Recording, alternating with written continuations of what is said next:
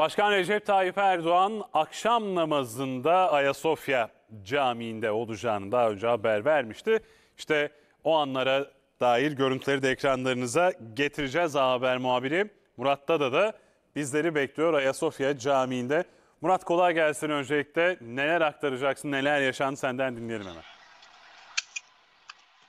Evet, Başkan Recep Tayyip Erdoğan bugün e, Arnavutköy, Arnavutköy ve Güngören'de e, mitinglere katıldı E, ve akşam saatlerinde ise e, Fatih'e geçti. E, Fatih'te İsmail Ağa cemaatine e, bir ziyarette bulundu. Hasan Kılıç İsmail, İsmail cemaati lideri Hasan Kılıç'a bir ziyarette bulundu.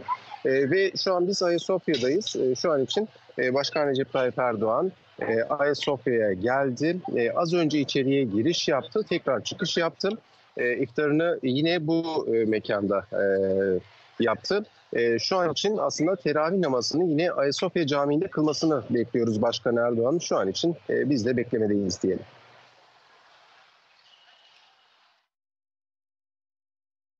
Paylaştığım bilgilerden dolayı bu arada o anlara dair görüntüler de haber merkezimize ulaştı. Onları da ekranlarınıza getirelim. Murat da paylaştı. Başkan Erdoğan bugün İstanbul'daydı. Arnavutköy ve Güngören'deki mitinglerin halkla buluşmasının ardından Fatih'e geçti.